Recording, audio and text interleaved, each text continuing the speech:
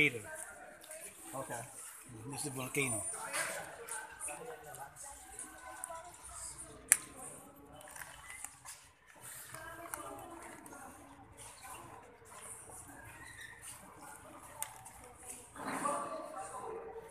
Well, I mean, it's, like tennis, it's hard to play ball outdoors.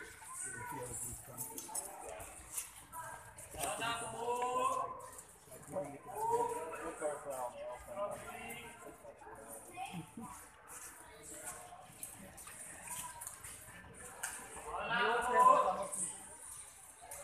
goes home to believe.